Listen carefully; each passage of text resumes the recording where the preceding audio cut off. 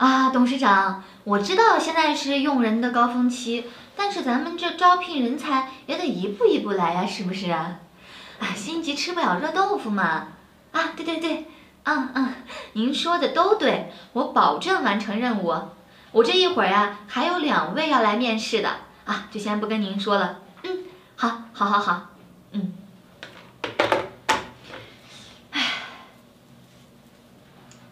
哎呀，这面试的人应该快到了吧？你好，我是来面试的。你好，我也是来面试的。两位请坐，两位请坐。啊。呃，两位的简历和信息我大致都了解过。呃，不可否认啊，两位的简历做的十分漂亮。一份漂亮的简历呢，在面试中确实会加分不少。所以现在很多人在简历上面都做足了功夫。但是在职场工作中，最重要的基本条件是什么呢？是脑瓜子要够灵活，情商要够用，会为人处事，这些才是最重要的。所以你们今天面试的题是这样的，两位请看黑板。我裤子拉链开了，怎么提醒我？谁能给我满意的答案，我就优先录取谁。我这面试啊，还是第一次遇到这样的问题。我也没遇到过，我这面试了快一百家公司了，这也没有问这样的问题。裤子拉链开了，怎么提醒我？我们是大公司大集团，面试的方式自然有自己的独特之处。只有与众不同的面试方式，才能面试出与众不同的人才。好了，现在开始吧。我先来回答你吧。遇到这样的问题，我会说：领导，你今天穿的裤子很好看，用这样的方式来赞美你，应该就能引起你的注意了，对不对？你这个回答呢，虽然引起了我的注意，但是回答呀过于宽泛不具体。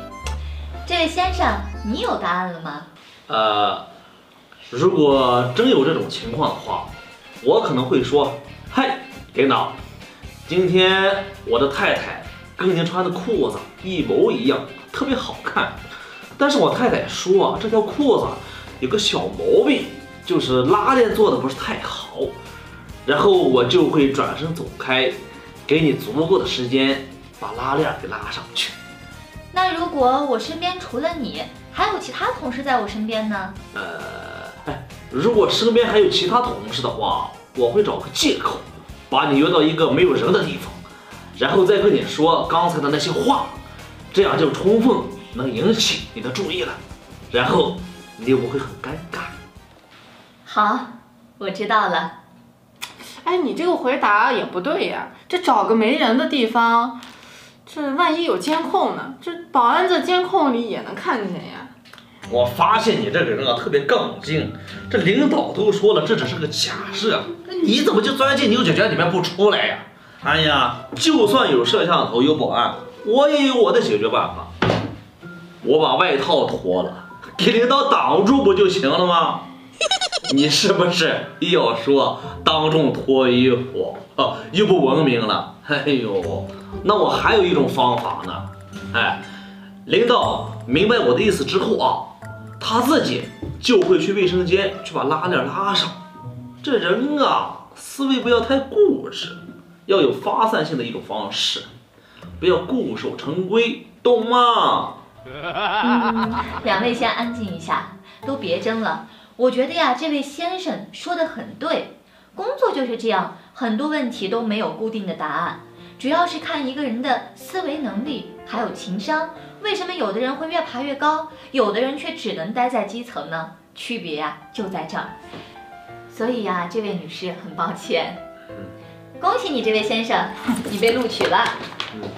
啊，谢谢领导。贵公司能招到像我这样的高情商的人才呀，一定是信用的。在未来的工作中啊，我一定会努力的。加油。好。